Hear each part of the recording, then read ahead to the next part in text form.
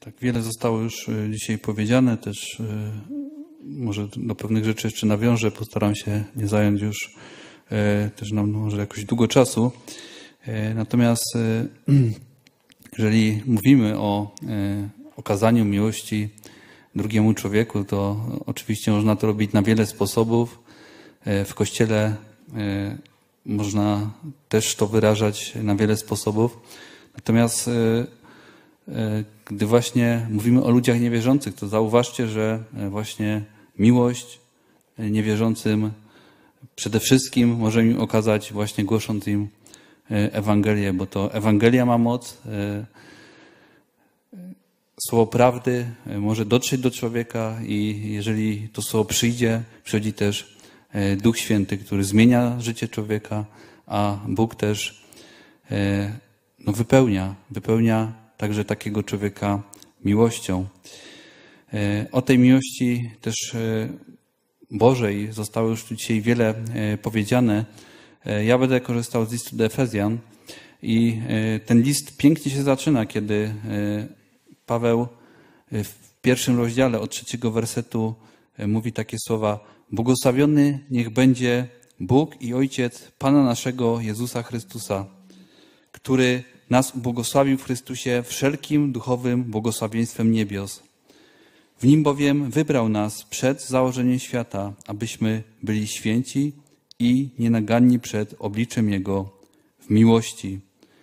Przeznaczył nas dla siebie do synostwa przez Jezusa Chrystusa według upodobania woli swojej. To wszelkie duchowe błogosławieństwo, o którym tu czytamy, właśnie jest w Panu Jezusie Chrystusie. Bóg jeszcze przed założeniem świata postanowił, że człowiek, który jest właśnie w Chrystusie, w Bożych oczach będzie święty, w Bożych oczach będzie nienaganny. I e, to wszystko, cały właśnie plan Bożego zbawienia, to wszystko stało się z miłości. E, gdy czytamy list do Efezjan, tam czytamy w drugim rozdziale o bogactwie tego miłosierdzia, o tym, jak wielką Bóg okazał miłość właśnie przychodząc do człowieka, ożywiając człowieka, e,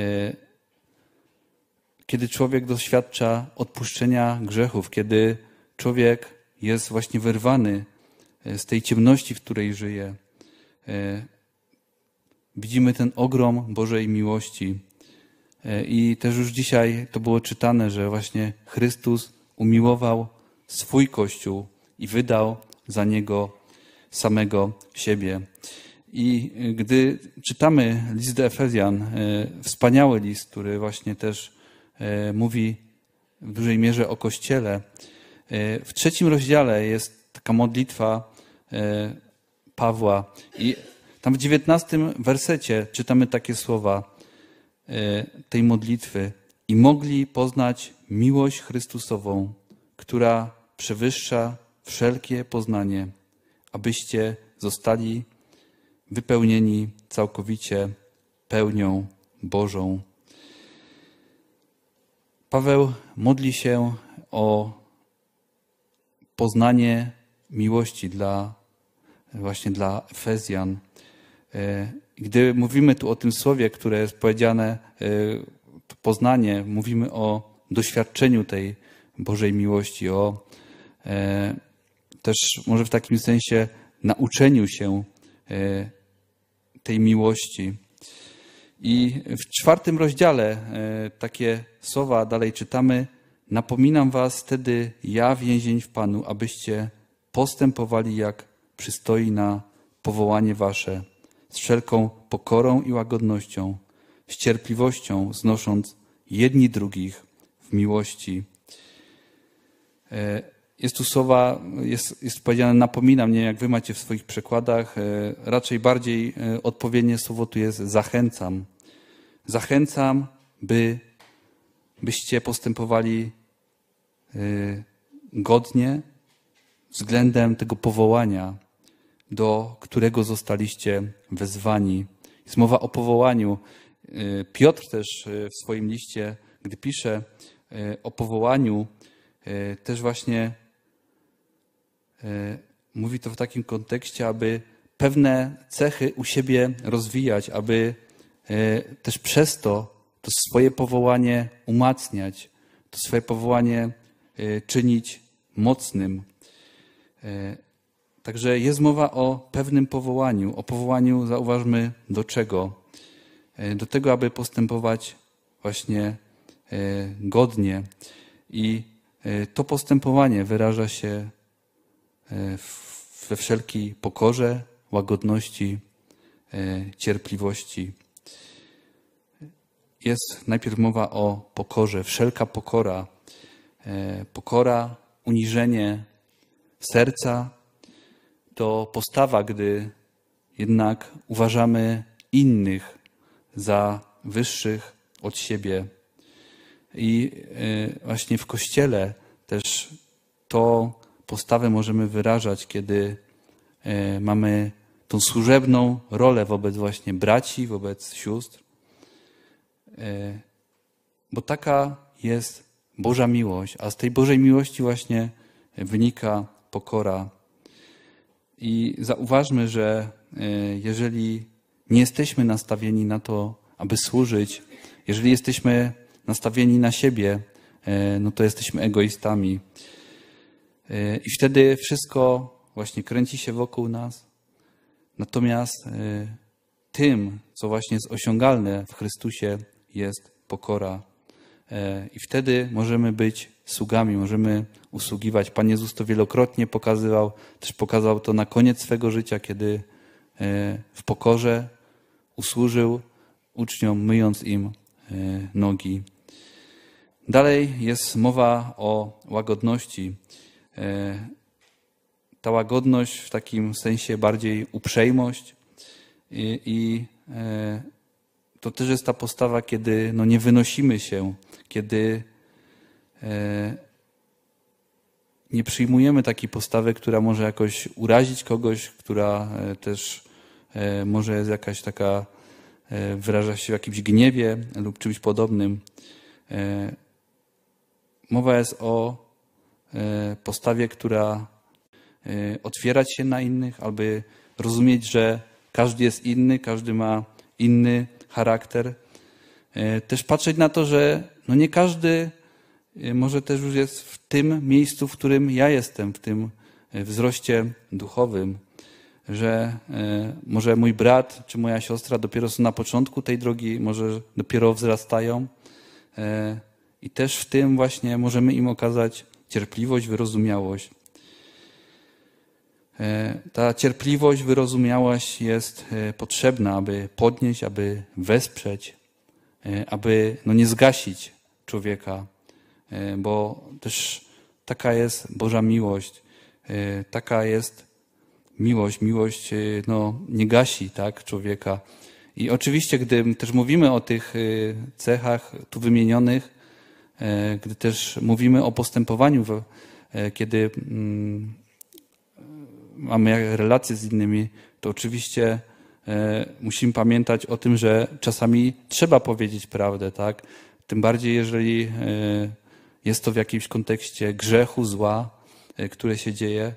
E, no na pewno, jeżeli mówimy też e, o miłości, to nie przykrywamy miłością grzechu lub zła. O tym też na pewno warto pamiętać. Ale wracając do tych trzech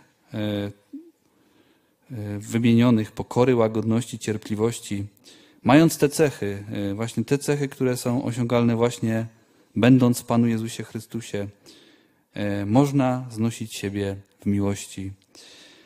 Kościół, y, społeczność mająca Pana Jezusa przed oczami, ma miłość do siebie nawzajem. Jeżeli tylko Pan Jezus jest głową Kościoła, tego Kościoła, to po prostu musi tak być, musi się tak dziać. Natomiast e, jeżeli nie ma tej miłości, jeżeli może brakuje miłości, to też jest właśnie pytanie, z czego to e, może wynikać. no może to wynikać z niegodnego właśnie postępowania względem tego powołania, do którego zostaliśmy wezwani. I wtedy sobie trzeba zadać pytanie, czy faktycznie naszą głową jest Chrystus. Trzeba sobie zadać pytanie, czy Chrystus nie jest w naszym życiu lekceważony. Trzeba sobie zadać pytanie, jak nauczyliśmy się tak naprawdę Jezusa Chrystusa. Ale też to, y, odpowiadając na to pytanie, można by na nie szeroko odpowiedzieć. Natomiast mi też się jednak czytając Biblię, rzuca w oczy to, że że człowiek e, często na początku drogi, no czasem też jest, e, gdy już dłużej idzie, e, powiedzmy za Bogiem, tak, to jednak może być niemowlakiem i takim niemowlakiem w sensie duchowym i to też Biblia pokazuje. No niemowlak ma to do siebie, że no, za dużo no, nie umie zrobić, tak, natomiast no, niemowlak jest można powiedzieć, takim egoistą. Jest jednak nastawiony na siebie. E, I w tym właśnie duchowym wymiarze można być takim niemowlakiem, e, no na pewno na początku drogi. E, natomiast to nie jest stan, w którym człowiek ma zostać. Mamy stawać się dojrzali w Chrystusie i ten może czasem właśnie brak miłości, może brak tych y, cech y, może właśnie być widoczny, ale tak myślę, że jest widoczny u tych, którzy są niemowlakami wierze, którzy ciągle nie stali się duchowi, którzy ciągle jeszcze nie nauczyli się Chrystusa tak, jak tego by Bóg oczekiwał. I gdy w ogóle mówimy dalej o tym czwartym rozdziale, E, to on właśnie mówi o pewnej dojrzałości, do której też jesteśmy e, wzywani, ale e, ta dojrzałość właśnie jest możliwa i jest możliwa właśnie od tego fragmentu, kiedy czytaliśmy o tej zachęcie, o tej zachęcie, aby godnie postępować, tak jak właśnie przystoi na nasze powołanie. Natomiast ten fragment też potem mówi o tym, że Bóg jest Bogiem jedności. E, mamy usilnie starać się o to, aby właśnie zachowywać e, jedność w duchu, starając się zachować jedność w duchu w spójni pokoju, tak? Ten trzeci werset mówi. A będzie to możliwe, kiedy właśnie postępujemy w sposób godny powołania, właśnie w sposób, kiedy jest miłość. Ale też ten czwarty rozdział, gdybyśmy go dalej czytali, już może dzisiaj nie ma czasu na to, to on właśnie też między innymi e, mówi o darach, e, które e, też Bóg w swoim kościele daje, którym udziela pewnym osobom. Pan Jezus obdarza ludźmi darami, aby też przygotować do posługiwania, do budowania ciała Chrystusowego. E, tak mówi werset 12 tego czwartego rozdziału. E, I to wszystko jest po to, aby właśnie e, człowiek, człowiek będący też w kościele, stawał się doskonały, aby stawał się dojrzały. I jeżeli tak się dzieje, to też potem werset 15 i 16 wyraża e, właśnie, że to ma miejsce. Czytamy takie słowa. Abyśmy, będąc szczerymi w miłości, wzrastali pod każdym względem w Niego, który jest głową w Chrystusa, z którego całe ciało spojone i związane przez wszystkie wzajemnie się zasilające stawy, według zgodnego z przeznaczeniem działania każdego poszczególnego członka, rośnie i buduje siebie samo w miłości. E, czytamy o pewnym obrazie, pięknym obrazie, o tym, jak e, właśnie ciało, e, Kościół, który, którego głową jest Chrystus, rośnie, buduje się i robi to w miłości, bo o to właśnie chodzi, abyśmy w Kościele wzrastali, abyśmy pod każdym względem właśnie wrastali w Chrystusa. Po to też się zbieramy, aby e, jako ci wywołani przez Boga e, szli za Jezusem, też uczyli się, naśladowali Go, aby właśnie w tym procesie uczniostwa też stawać się coraz bardziej podobnym do, do Niego, aby właśnie też postępować w sposób godny, tak jak do tego też Paweł zachęca. Kościół to Boże dzieło. E, Kościół to też ludzie, którzy e, są powołani do miłości, gdzie właśnie e, też ścieramy się z innymi, gdzie czasem trzeba zostawić jakiś egoizm, jakiś, jakieś cielesne myślenie, a okazać miłość. Miłość, która jest możliwa właśnie dzięki Bogu. I e, dwa wersety na koniec z tego piątego rozdziału listu do Efezjan, które niech też takim będą podsumowaniem tego e, dzisiejszego tematu. Bądźcie więc naśladowcami Boga jako dzieci umiłowane i chodźcie w miłości, jak i Chrystus umiłował was i siebie samego wydał za nas jako dar i ofiarę Bogu ku miłej wonności. Amen.